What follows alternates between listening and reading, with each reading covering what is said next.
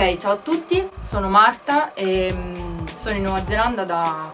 purtroppo quasi otto mesi, cioè no, purtroppo, sono quasi finiti però. E, mm, niente, sono qui per lavorare ad un progetto di tesi, io sto facendo la magistrale a Torino, al Politecnico, e ho deciso di partecipare mm, ad un bando per fare appunto un'attività, per avere questo tipo di esperienza Uh, il mio bando non è proprio non è un progetto Erasmus, però è una sorta di, di scambio, è, si chiama progetto tesi su proposta, quindi in pratica io ho dovuto trovare l'università, i professori e quindi tra le tante università alla fine ho scelto di venire qui, diciamo non c'è stato un, un motivo preciso, però il mio, il mio relatore era italiano, quindi alla fine sono andata un po' a fiducia e quindi niente, ho deciso di, di partire. Come ho detto sto, sto qua da ottobre e um, sono venuta con il work visa, ho dovuto fare il work visa perché lo student visa non si può fare in quanto non essendo io una studentessa, non essendo anche nello schema Erasmus, in realtà io è come se non fossi iscritta all'università, quindi non ho dovuto pagare fee all'università, um, nessun tipo di tassa, se così si può dire, perché io le pago al Politecnico e quindi lo student visa non, non si può fare per questo motivo. E quindi ho dovuto fare un work visa. E è stato abbastanza complicato capire che tipo di visto si deve fare perché anche sul sito per esempio loro mi avevano consigliato di fare uno student visa, io sono andata sul sito preciso del, dell'immigrazione e quindi mi avevano proprio consigliato fare lo student visa, però in realtà così, così non, cioè non, non bisogna fare così e nel work visa c'è proprio un, um, un, riquadro che parla di, di, questi progetti di tesi. E niente, diciamo che i requisiti sono, sono molto simili allo student visa, quindi prima di tutto vabbè soldi, perché devi avere una certa disponibilità e devi far vedere a loro che tu hai una certa liquidità sulla tua carta di, di credito. Poi il biglietto ovviamente per partire, quello per ritornare io ancora non l'avevo comprato e quindi non, non, mi fatto, non, mi hanno fatto, storie, vabbè una foto normale. E, e poi una lettera di, una lettera di presentazione cioè, che deve compilare uh, l'università che ti ospita. Che come tempistiche per fare il visto non, è, non sono state molto lunghe, all'incirca due settimane e mezzo, tre, anche se sul sito c'era scritto molto di più. Però no, ho dovuto spedire il passaporto a Londra e poi vabbè per vari problemi avuti perché non ero sicura fino alla fine di dover fare il work visa, ho dovuto chiamare anche qua in Nuova Zelanda, però alla fine è andato tutto bene, loro comunque mi, mi hanno comunicato quasi tutto, poi c'è tipo un'iscrizione da fare sul sito della,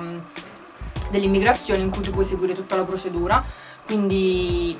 è abbastanza fattibile. E ehm, niente, quindi alla fine ho deciso di partire, finalmente mi sono fatta coraggio perché comunque cioè, ci vuole coraggio perché neanche a farlo apposta è il paese più lontano dall'Italia, giuro di non averlo fatto apposta, però è proprio così. e quindi niente, alla fine sono venuta qui e ehm, diciamo che l'impatto non è stato proprio positivissimo perché io sono abituata a Torino, ma anche Benevento, la città dove sono nata. Uh, qui è tutto molto molto molto diverso, cioè nel senso mi sembrava di stare in una grande, non dico periferia, però diciamo che dall'aeroporto fino al bed and breakfast ho visto soltanto case, case, case, case e case e giardini e parchi e quindi ho iniziato a dire oddio ma dov'è la città, insomma i primi, i primi pensieri sono questi, no? Quindi diciamo che all'inizio ti devi un po' abituare all'idea che comunque qui sei dall'altra parte del mondo ed è tutto un altro mondo rispetto all'Italia, rispetto all'Europa perché um, hanno una concezione completamente diversa un po' da molti punti di vista per esempio qui danno molto molto peso al tempo libero, alla famiglia, il lavoro è molto meno stressante rispetto all'Italia, però queste sono cose che capisci, capisci, dopo, io infatti ci ho messo un po' per entrare nell'ottica. Uh, mentre al contrario all'università l'impatto è stato molto positivo perché il mio professore, cioè i professori qui si danno del tu, quindi venendo giustamente da un'università italiana in cui devi dare il lei, qui il rapporto è completamente diverso, cioè vanno a giocare a pallone, si vanno a prendere le birre insieme, quindi sono rimasta abbastanza colpita da questo, da questo atteggiamento. E poi l'ambiente è davvero molto stimolante perché qui dal punto di vista sismico e non solo sono davvero avanzati, cioè ne sanno davvero, ne sanno davvero molto e quindi hai la possibilità di imparare molto da tutti i punti di vista. Poi anche l'università è molto viva, ci sono molti club studenteschi che veramente funzionano. Al contrario del, dell'Italia dove ci sono, sì ci sono, ma certo non sono così organizzati, quindi per esempio c'è il tramping club, mm, molti club di sport, quindi sì, diciamo che l'ambiente è molto molto stimolante dal punto di vista universitario. Per quanto riguarda invece la città, diciamo che come nightlife è abbastanza, è abbastanza scarsa, e mm, infatti io è per questo che ho fatto un po' fatica ad abituarmi all'inizio perché comunque mm, la città purtroppo è stata distrutta da un terremoto quattro anni fa e quindi diciamo che manca un po' il centro, manca un vero e proprio punto di ritrovo e comunque non hanno,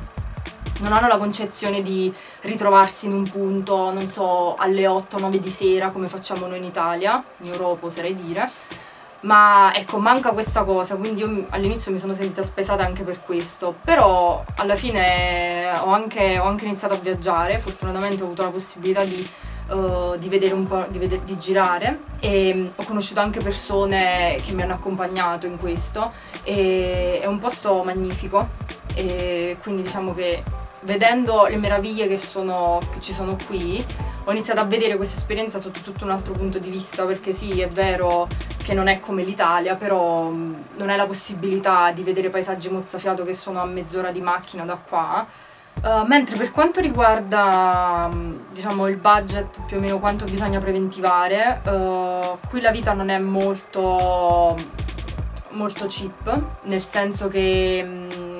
diciamo, al supermercato le cose sono quasi tutto molto costose e mm, l'unica cosa che è un po' più economica dell'Italia, anche se alla fine in Italia vai da Decathlon, quindi vabbè, però sono mh, mm, tutto quello che riguarda lo sport, perché qui sono, sono molto molto fissati con, con lo sport, cioè danno davvero molta importanza. Io so che tipo alle scuole elementari hanno la possibilità di scegliere tra 17 tipi diversi di sport, se non qualcosa in più e per me è un qualcosa di assurdo perché non lo so, puoi scegliere equitazione, canoa, kayak, quindi cioè, per me è una cosa assurda. Comunque diciamo che come budget, considerando che se ti va bene come uno studente, diciamo, puoi trovare una casa che va dai 150, 180 se ti va bene, uh, considerando un 100 dollari di spesa a settimana, quindi direi che 1200-1500 dollari mensili e stai tranquillo. La vita qui è molto rilassata, cioè tutti quanti vivono, hanno una concezione molto relax, anche appunto come ore lavorative, non c'è stress e tu questa cosa la percepisci. Sì, è tutto molto, molto tranquillo, infatti diciamo che l'esperienza di otto mesi ho iniziato ad immaginarla in maniera diversa appunto pensando che erano solo otto mesi ecco, e che probabilmente non avrei mai avuto la possibilità di venire in Nuova Zelanda se non per studio perché cioè, diciamoci la verità non è che diciamo, è molto conosciuta in Italia perlomeno dalle mie parti nessuno, nessuno ne parla non, ne, non, si parla della Nuova Zelanda cioè è più famosa l'Australia rispetto alla Nuova Zelanda. Però ecco facendo una riflessione diciamo più ampio raggio, eh, magari un giorno venire qua e viverci io non, non, credo che sarei capace perché per me comunque oltre al lavoro è importante anche il tipo di vita che hai qua e come detto non penso riuscire a vivere perché è davvero tutto molto tranquillo, troppo per me. Cioè delle volte molto spesso ti serve anche altro, cioè non, diciamo la natura non basta, ecco. Diciamo che una cosa positiva da questo da questo vivere in maniera così tranquilla e che alla fine qui danno molta importanza al tempo, al tempo libero. Quindi io uh, ho imparato a dare molta importanza al tempo per me stesso, una cosa che mi mancava in Italia, non ero mai riuscita. Il mio consiglio è se vuoi venire qua per studiare assolutamente sì, perché soprattutto per quanto riguarda l'ingegneria civile qui sei molto valorizzato. Però certo, se vieni qua con l'idea di uh, non lo so, fare festa come, non so, in Spagna, ovviamente che la Spagna eh, non, è, non è così, cioè è completamente diverso. però ecco, hai comunque la possibilità di vedere cose che ci sono solo qui. Eh, io una cosa che ho apprezzato, certo mi manca la mia vita, la mia vita sociale, però mh, Christchurch è la città dei giardini e per me questa è una cosa eccezionale perché non penso che troverò in qualche altro posto del mondo una città come questa perché non lo so, fai 100 metri e ti trovi un parco enorme, altri 100 e ne trovi un altro, cioè comunque respiri molta più aria pulita, ma non solo perché è il paese che è giovane e quindi non ci sono grandi città, ma proprio perché il verde è ovunque, dappertutto. Eh, e questo, va bene, ciao a tutti!